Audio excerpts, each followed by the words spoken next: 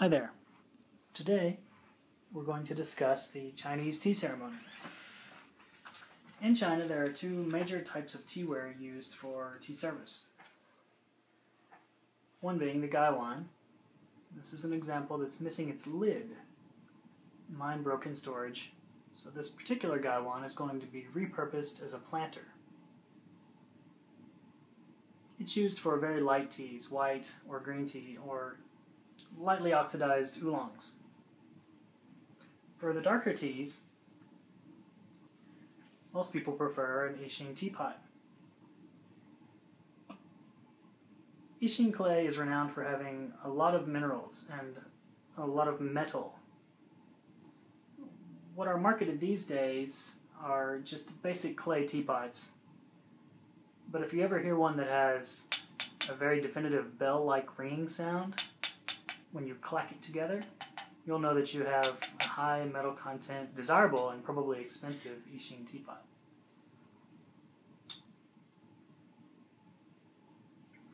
So what's going to take place is a very casual and relaxed ceremonial tea preparation. Um, opposite uh, the Japanese style, which is very strictly regimented, the Chinese tea preparation style is very laid back and relaxed. We're going to go through every step today, but you can you can normally just kind of forego things, shift things around a bit, and make it your own private, sort of enjoyable preparation ceremony. Uh, to begin, we'll be heating up the teaware. Uh, this is normally a step that I just bypass. But to clean and sanitize everything,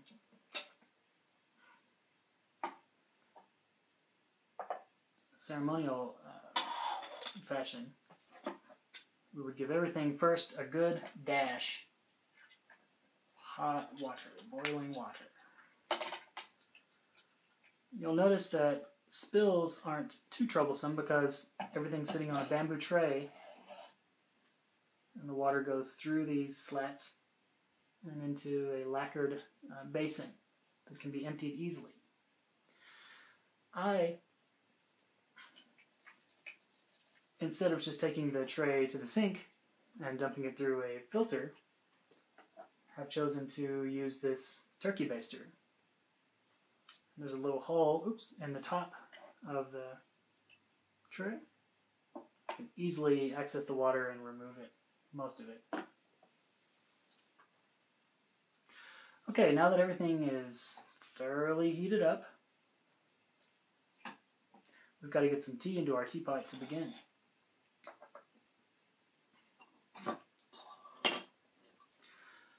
This uh, collection of tools, I'll put them, put them in the frame here, will come in handy as we're working.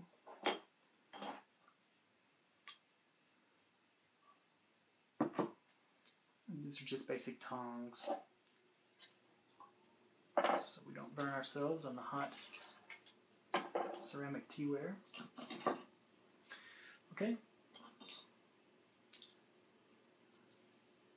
Also a small bamboo funnel.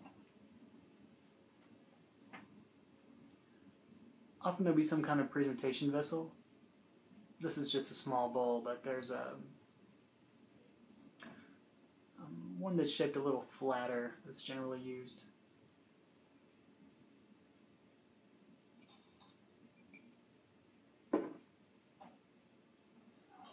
Right, now for the rinse cycle, uh, this can also be bypassed if you're using very high quality tea or tea from a trusted source.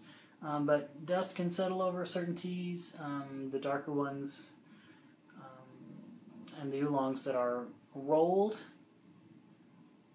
benefit from being rinsed quickly because the leaves will begin to unfurl just a little bit. And there also is a little bit of a Western fear of pesticides on the tea leaves themselves. So, our rinse doesn't have to last very long at all.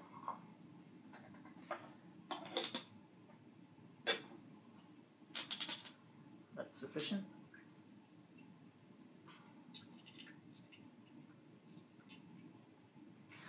Certain teas uh, that aren't are not um, rolled or shaped, uh, a lot of their flavor will be in a flash infusion, such as the one I just did.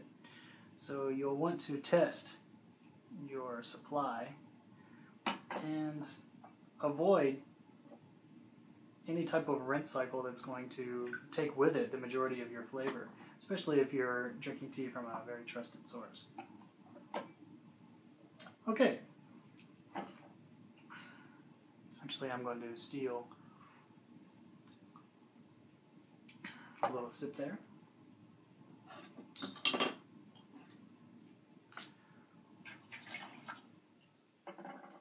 Moving on, we're going to do a very fast infusion. The Gongfu style, uh, the ceremonial style of brewing, involves lots of quick infusions. In this way, the drinker and the guests can note uh, changes in the character of the tea soup.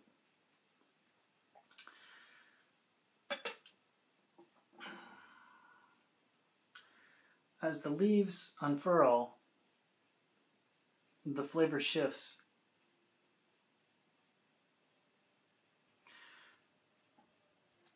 Take place, and we don't want to miss out on that by doing too too long of an infusion. So then you're just left with the character of a fully brewed tea liquor. And some of the nuance can be left. Uh, behind, especially with high quality tea.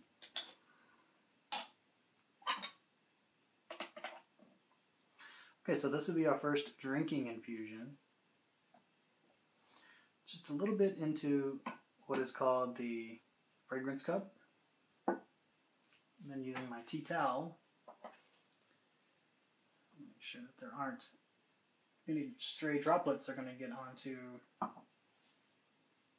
the table or the garments of the guests.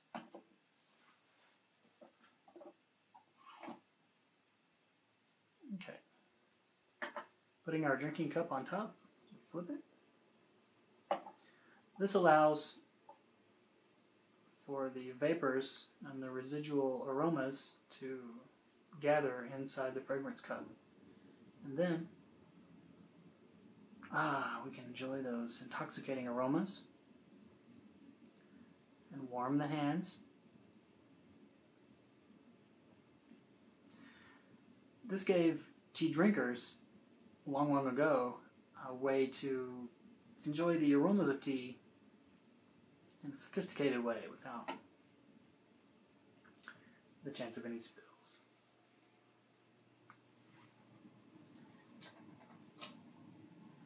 And now, with three sips, we're going to savor this tea.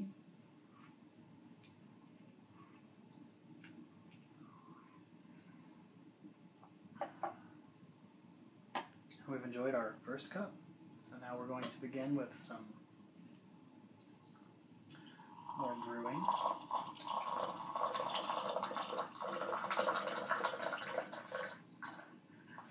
Pouring from quite high will allow the tea leaves to dance inside the tea brewing vessel. And the addition of more water keeps the temperature uniformly very hot inside.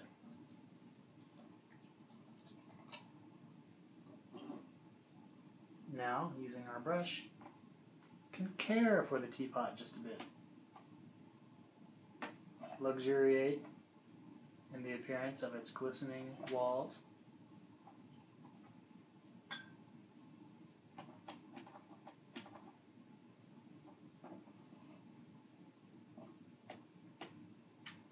The brush can also be helpful when things are a little bit drier on the tea tray to brush residual bits of tea leaf into the bottom.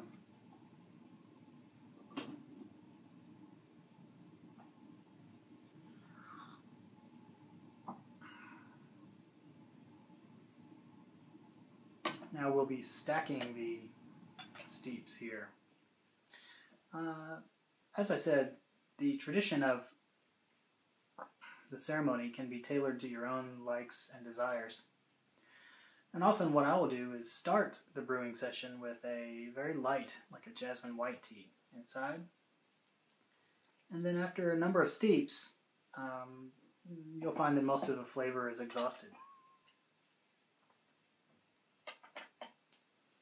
So then I'll just drop another type of tea inside. Maybe a moderately fermented, uh, oxidized, excuse me, oolong. And graduating up to the actual fermented pu'er teas. Is an interesting type. Long, long ago, tea would be pressed because it's it's normally very uh, uh, uh, difficult to carry around a lot of weight in tea because it's so bulky.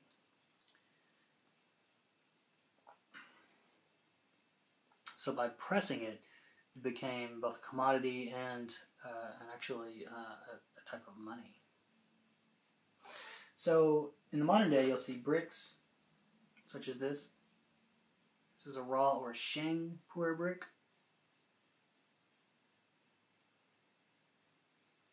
And there's also cooked shu bricks of pu'er tea. And then those are the ones that are mounded up in warehouses, and then the microbial action of uh, various organisms get to work, and then they transform the tea.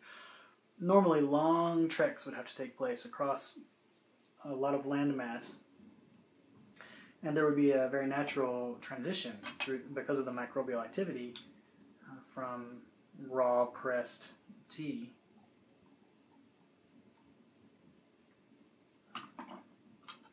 into these darker, richer, uh, stranger flavors.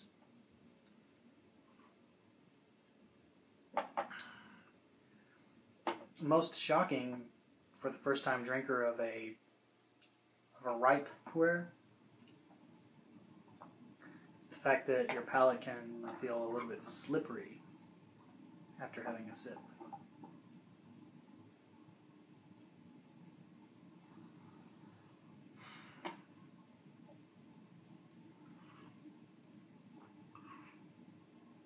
The first taste just primes your palate, and then a smaller second sip um, can, in a way, coat your palate, finishing it with that third sip. Completes the holy trinity of tea sipping. And service for others plays out in this fashion.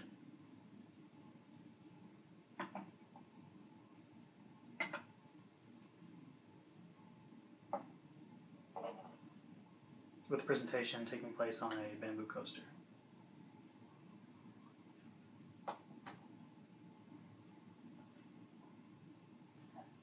I should also mention my friend here, Tea Pet or Tea Mascot, transforms. Hot tea liquor touches him. You'll also see some dark hunter green colored tea mascots, which changed to vibrant lime green and and or white.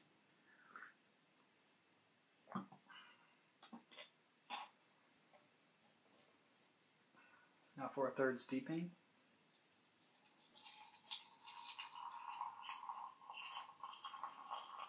You're working with more delicate teas, green teas, which require a little bit of a lower temperature.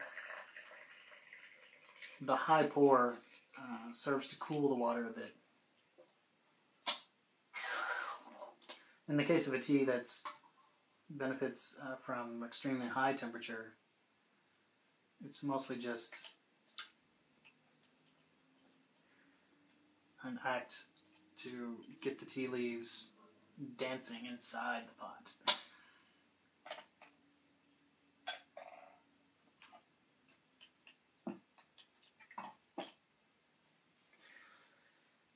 All right. Sometimes you'll also see a vessel like this. And once the tea leaves have surrendered all of their flavor, they can be placed into this bowl, evaluated, discarded.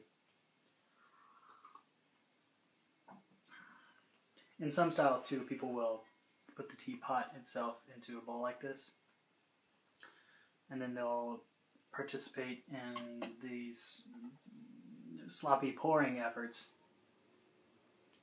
you know, without fear of getting the water everywhere if they don't have a bamboo tea tray or any other type of straining tea tray.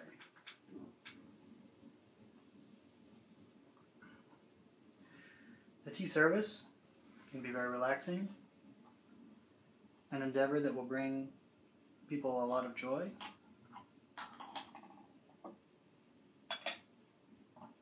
A fine way to while away the hours.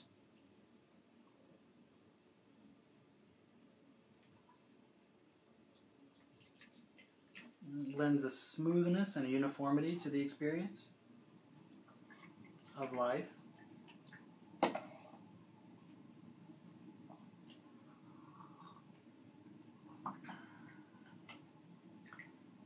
See my strainer here. Beautiful lotus.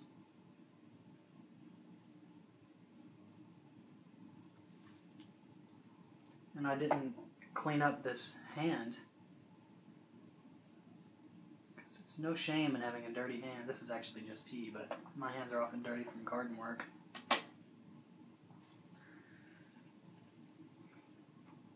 It's a badge of accomplishment.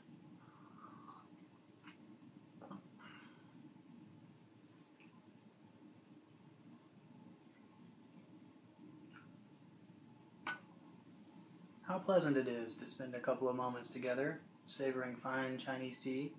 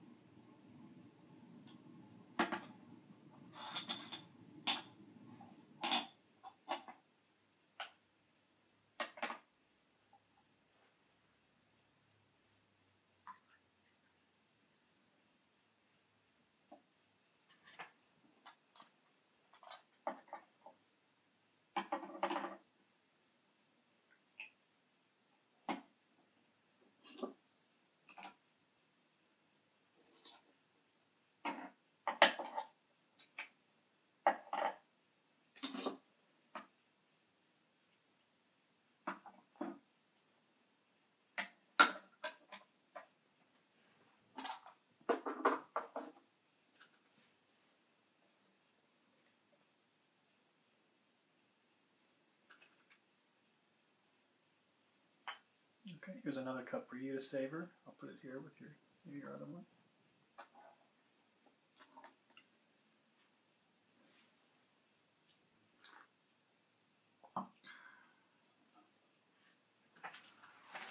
Thanks for watching.